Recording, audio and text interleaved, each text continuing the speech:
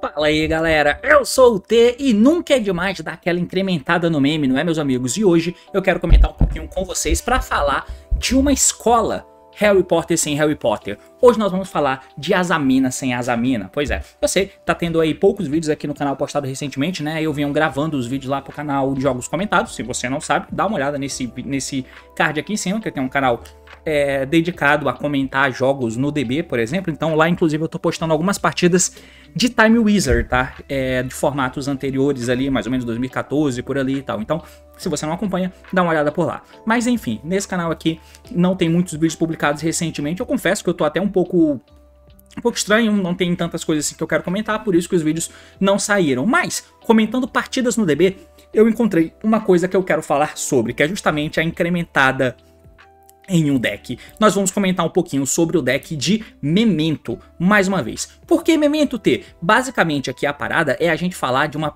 de uma questão que eu vi o maluco usando, jogando com ela, que é usando as cartas de Azamina no Memento, que particularmente eu achei muito descolado. O que, que você entende por Azamina? Bom, basicamente, nós vamos ter que usar a Sacred, né, que é essa cartinha aqui, também vamos ter que usar o Deception e obviamente vamos ter que usar o Witch, Seeker, que é algo, por exemplo, que até o Will Bell eventualmente passou a adotar na decklist deles. Porém, não é o caso aqui no momento. Nós temos já uma decklist um pouco é, inchada, o espaço de tech não é lá essas coisas, mas ainda assim nós conseguimos sim usar a, a vertente de Azamina de um jeito peculiar. Se você não tá ligado, meus amigos, então cola aqui porque o assunto é esse, partiu, então vamos lá.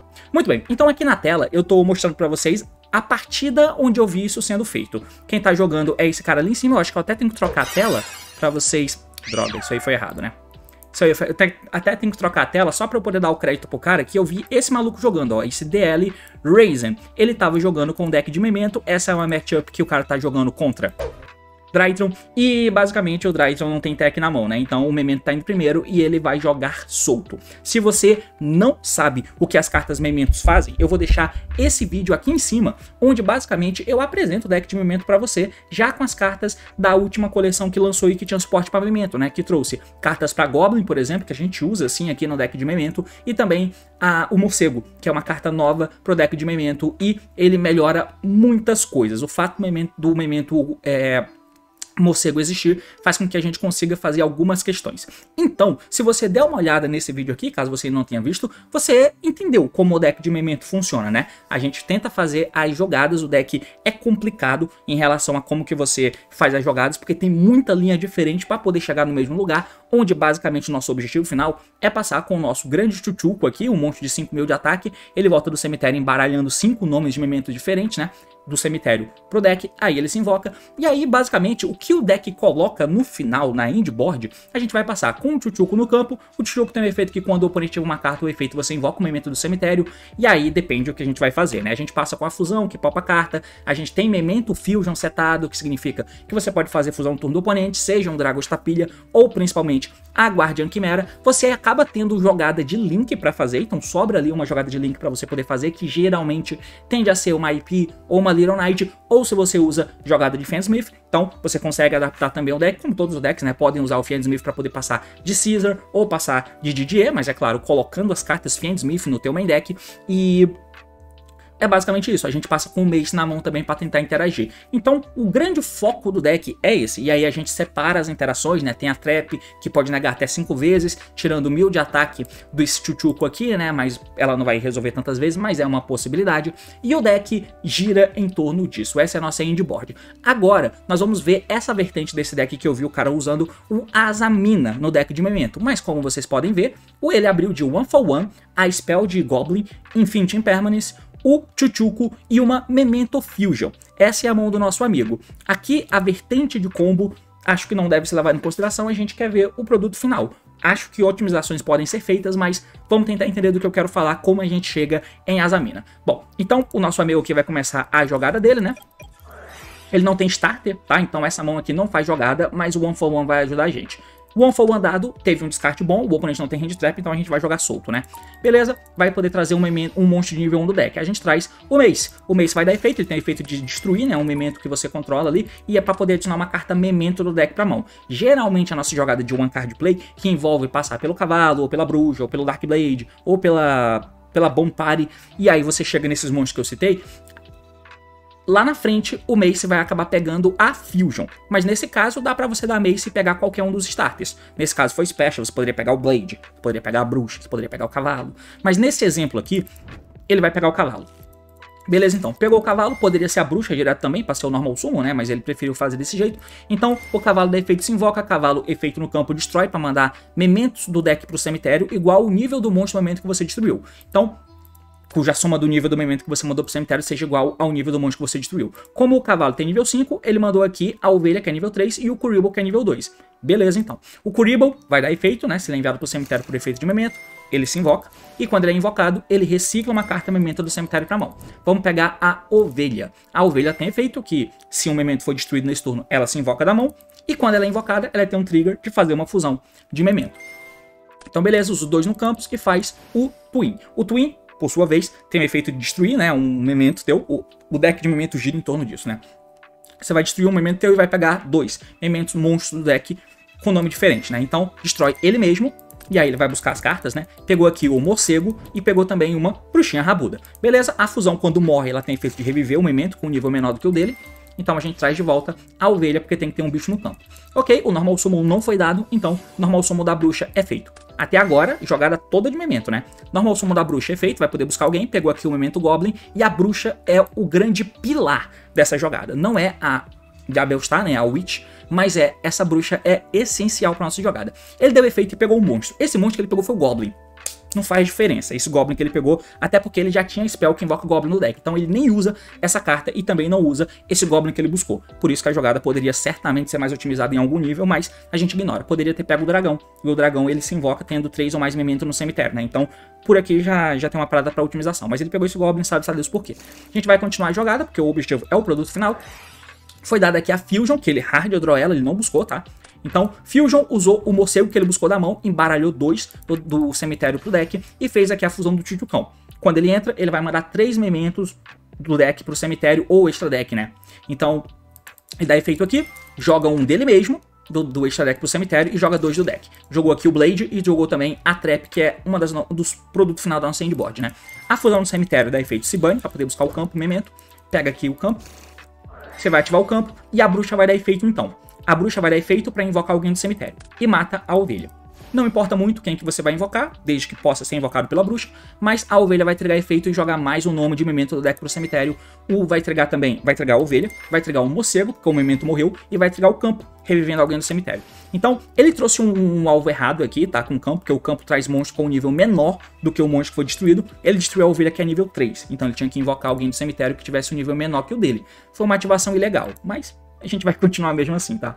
Então, voltou aqui o morcego do cemitério, pelo próprio efeito, e agora a ovelha vai jogar um nome do deck pro cemitério. E aí ele acabou jogando outra bruxa. Tudo bem. Agora ele tá dando efeito aqui da Fusion, não faz diferença, tá? Porque, por exemplo, o próprio é, a própria ovelha poderia jogar um nome com um nível menor do que o do, da, do que alguém que fosse destruído agora, porque agora a Fusion vai destruir alguém no campo para poder buscar uma carta. Então, se ele não tivesse dado esse efeito ilegal, Agora ele poderia, porque a ovelha joga um monstro qualquer aqui e a Fusion mata um monstro teu. No caso, matou o morcego e o morcego tem nível 5 para poder buscar uma Spell Trap Memento. Ele pegou o Bone Party. Agora você trigaria o campo e reviveria o Dark Blade, por exemplo, se fosse o caso, tá? Então daria para consertar. Ok? No cemitério, o morcego morreu, então ele recicla a Fusion de volta pra mão. E até agora tá tudo muito dentro do deck de memento. Agora é que a gente faz uma parada diferente. Ele tá juntando dois monstros no campo, dois monstros quaisquer, para poder fazer o Proxy F Magician. Provavelmente você já esperava que esse monstro estivesse envolvido, porque o Proxy ele tem o efeito de, uma vez por turno, você pode fazer a fusão de um monstro do teu extra deck usando o monstro no teu campo, com, da, é, no teu campo como material. É só esse o efeito dele, tá? Basicamente é isso que a gente precisa. E aí a gente vai tentar fazer uma fusão de Azamina de um jeito que eu nunca tinha visto até então. Eu tentei pensar em uma forma de fazer lá no Quimera, eu até postei um vídeo para vocês aqui em cima que eu falei que eu tentei encontrar uma forma de tentar fazer a fusão da Azamina sem ter que focar muito nas cartas usadas na Spell Trap, porque tudo do deck de Quimera é fazer fusão, com as próprias spells de fazer fusão inclusive, mas aqui a gente vai conseguir. Por quê? O Prox Magician tá no campo, você linka a bruxa para poder fazer Artemis. O que que tá acontecendo aqui? Artemis é um spellcaster de luz, e aí você usa um mago de nível 4 ou menor para poder fazer Artemis. Então temos um nível 4 de temos um um spellcaster de luz. O Prox Magician agora vai tentar dar efeito e ele vai fazer uma fusão usou dois monstros no campo e bum, toma aí, Azamina. O que que foi feito? O material de fusão dela é usar um Illusion mais um Light Spellcaster Monstro. É uma condição muito específica de conseguir atingir, não é fácil e tem que forçar um pouco a barra. Mas nem tanto, porque aqui a gente não forçou baixo, não forçou tanto. A gente usou um Spellcasterzinho de luz aqui, vindo do extra sim, mas nós fizemos o link 1, usando a bruxa que viraria algum outro link. Então, se eu linko a bruxa para fazer uma IP ou se eu linkei para fazer essa mina, a diferença é pouquíssima, com exceção do que eu coloco no meu extra deck, né?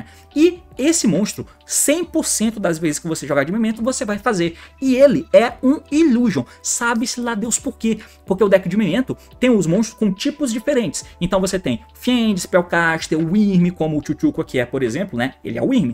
Tem Spellcaster, tem aqui um Aqua, tem aqui um Beast, tem aqui um Warrior. Então tem todo tipo. Mas esse cara que veio na penúltima coleção, na penúltima main collection, ele é Illusion. E o fato dele ser Illusion proporciona com que a gente possa fazer a jogada desse jeito, porque o Prox Magista fugiu um Light Spellcaster, que é Artemis, e um Illusion, que é o Chuchuco Fusão. E aí, com isso, nós temos aqui a Sylvia, sem ter que usar Witch, Seeker, Deception ou Sacred. São engrenagens que tem algumas questões em volta dela para você poder encaixar em um deck, né? Via de regra, eu acho que você precisa dar valor para as cartas que você usa. É, então, você pode usar no deck de Yubel? Pode. Você tem um Omni Negate, você tem alguma forma de jogar bem. É a principal questão, né? Jogar bem para cima do Forest, por exemplo, uma vertente diferente que joga bem para cima do Forest. Joga ok, né? Na verdade, você faz um Omni Negate e fica com, com cartas na mão para poder interagir. E como eu fiz nesse vídeo aqui em cima, eu mostrei para vocês mais ou menos quais são os decks bons versus o Forest. E dentre eles, eu mostrei como seria uma jogada de memento, que jogando de memento puro, fazendo a tua jogada que você quer fazer, não toda, porque você tá alocado pelo Forest, né? Mas você consegue fazer a tua jogada inteira, que é muito boa, dando duas drop pro oponente. É muito? É, mas você faz a tua jogada inteira. É uma jogada muito forte, que você faz com o teu deck de memento, fazendo giro com ele. É, então sim, a galera usa. Só que a engrenagem de Deception, ela é pesada, cara. Se o teu deck não tem as ferramentas para poder chegar lá.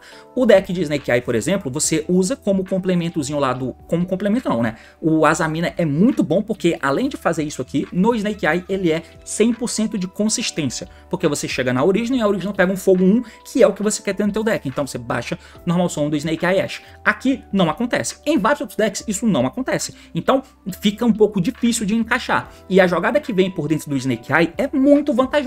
Então, os menos que você faz na tua jogada tendo o Deception, tem que tributar Hand Trap. Acontece toda hora, né? Eu sei que é bonito fazer a jogadinha lá com o mínimo de recurso possível, mas acontece toda hora você ter que tributar Hand Trap, que não tem muito valor. É um Force, beleza, mas tem essas questões. Nem todo deck vai se aproveitar tanto assim dessa parada, porque nem todo deck tem uma jogada tão vantajosa quanto o Snake Eye tem. Então acaba sendo pesado você colocar essa quantidade de cartas para ter o Azamina, porque a morcega não pega jogada para você.